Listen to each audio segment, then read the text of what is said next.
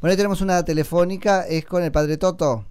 Tenemos en línea a el padre Lorenzo de Bedia, Toto, que es integrante del equipo de sacerdotes para las villas de emergencia. Hola, padre Nico Yacoy en FM Concepto, buen día, gracias por atendernos. Hola, ¿qué tal? Bien, bien, muy bien, muy bien. Bueno, ¿cómo se este, gestó ese acto de ayer de la reaparición de Cristina Fernández de Kirchner? Ayer eh, nos había llegado una invitación, un pedido de Cristina a través de curas de acción por los pobres, nos llamaron también a los curas villeros, ella quería reunirse con nosotros, con algunas religiosas de los barrios populares, eh, y nosotros dijimos que sí, por eso estuvimos. O sea, fueron para otra cosa. ¿Cómo fuimos para otra cosa? No, bueno, fue, fueron para revisar esta cuestión de, la acción en los este, barrios populares y terminó siendo un acto de, reaparición pública de la vicepresidenta. ¿O sabían que tendría ese formato también? No, ella dijo que quería reunirse con nosotros y, nosotros este, no nos sorprendió ese formato. Ah, ok, ok. Pero no es que sabían que iban a ser parte de este acto puntual. Sucedió. O sea, eh, no pusimos ninguna condición nosotros y, no estamos en desacuerdo con que haya tenido ese formato. Ok. Padre, buen día. Carlos Poncio lo saluda. ¿Cómo anda? ¿Cómo está? ¿Habían tenido ya otras reuniones este, con la mm, vicepresidente anteriormente? ¿Era común que tuvieran algún tipo de contacto o de diálogo o es la primera vez? Eh, yo en lo personal es la primera vez que hemos tenido un contacto. O sea, ella había venido a una misa a la parroquia hace muchos años, cuando era presidenta, eh, en otro contexto, pero eh, los curas villeros nunca nos habían reunido con ella, los curas de opción por los pobres se habían reunido alguna vez, creo que ellos mismos lo habían pedido, pero no, Ah, es muy interesante. sí. otra ocasión. Hoy hablábamos más temprano con la hermana que estuvo presente y nos contaba que, que, había sido igual la invitación con ella, primera vez que la veía, etcétera, etcétera. ¿Nos ayudas, Toto, a entender un poquito qué es esto de los curas este, de la opción por los pobres? Sí, eh, los curas villeros que somos nosotros, sí.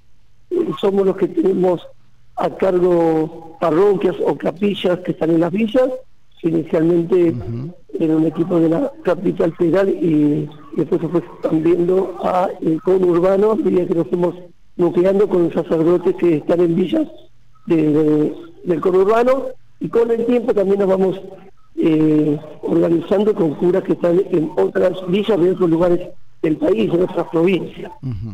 Y los curas son por los son un colectivo de sacerdotes que expresan su opción por los pobres eh, que digamos organizativamente son diferentes a nosotros, pero eh, de alguna manera están en la misma línea que nosotros. Bien. O, en sintonía parecida. Ok, ok. Eh, ¿Tenías conocimiento de este llamado del Papa, Cristina Fernández de Kirchner, que contó en esa reunión de ayer?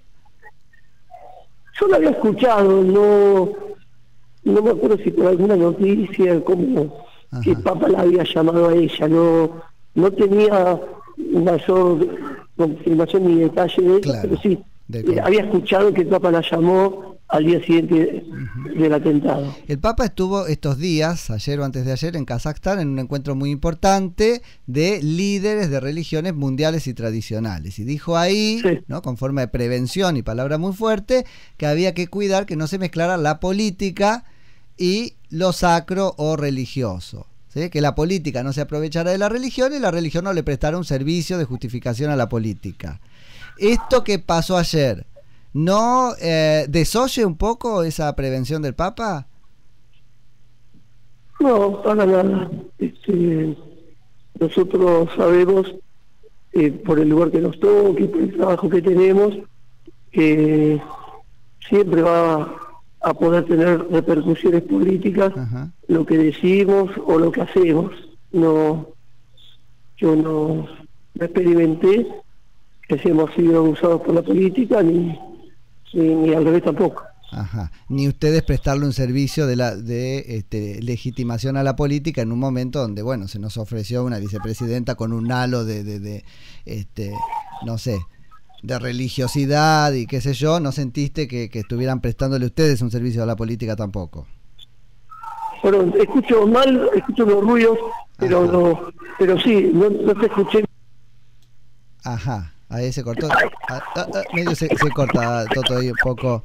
Este, no sé si ahí me escuchás.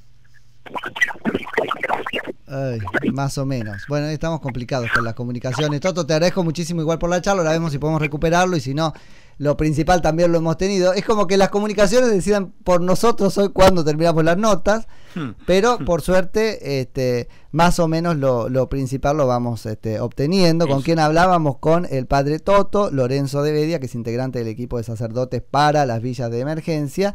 Interesante, se repite esta cosa, no la conocíamos, nos invitamos.